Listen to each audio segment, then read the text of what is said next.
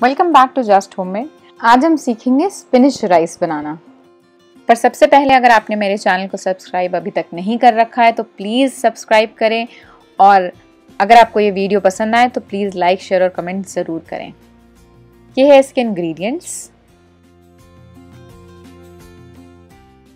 सबसे पहले इसके लिए आप चावल को बासमती राइस मैंने यहाँ लिया है, उसे धो करके दो तीन पानी से उसे अच्छे से धो लें और उसे सोख कर दें आधे घंटे के लिए। उसके बाद हमने यहाँ पानी बॉईल कर लिया है एक पतीले में।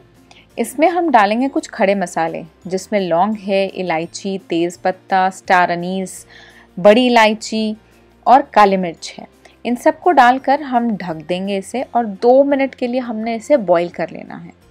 दो मिनट बॉईल होने के बाद हम ये सारे खड़े मसाले इसमें से छलनी की मदद से निकाल देंगे।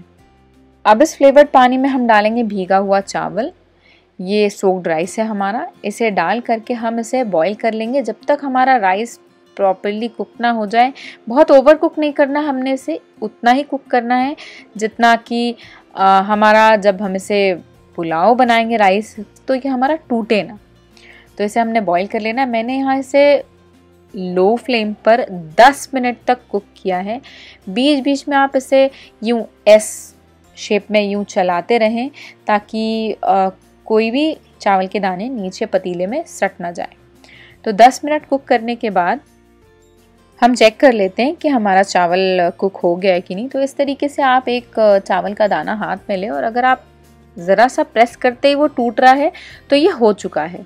और अगर ये ज़्यादा मैशी हो जा रहा है हाथ में तो मतलब ये ओवर कुक हो चुका है। तो आपने ओवर कुक नहीं करना है इसे। ये बॉईल होने के बाद हम इसे एक छलनी में छान लेंगे और इसे थोड़ी देर रख देंगे ठंडा होने।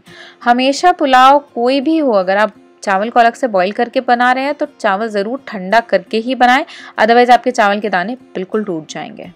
तो चलिए अब चावल को कर लेते हैं हम सॉटे इसके लिए एक पैन में हमने एक बड़ा चम्मच घी लिया है। इसमें डालेंगे हम प्याज स्लाइस किए हुए और हरे मिर्च बीच से कटी हुई। इनको हम ज़रा सा कुक कर लेंगे, ताकि जो प्याज का कच्चापन है वो निकल जाए इसमें से। यहाँ आधा चम्मच जीरा मैं स्टार्टिंग में देना भूल गई थी बट अब ऐड कर रही हूँ और ज़रा उस पर घी, ताकि हमारा जीरा भी अच्छे से कुक हो जाए। तो चलिए, इन सबको हमने एक मिनट के लिए कुक कर लेंगे। इसके बाद हम इसमें ऐड करेंगे बिल्कुल बारीक कटे हुए पालक, बगर अच्छे से धुले हुए।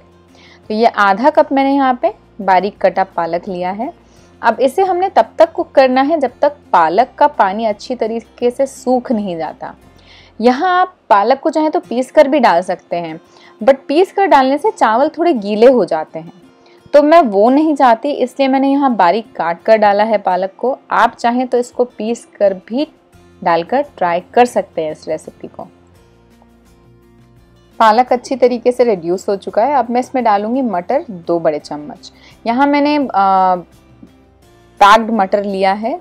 जो ऑलरेडी बिल्कुल सॉफ्ट होता है, अगर आप फ्रेश मटर ले रहे हैं तो उसे ज़रूर से बॉईल कर लें, उसके बाद इसमें डालें।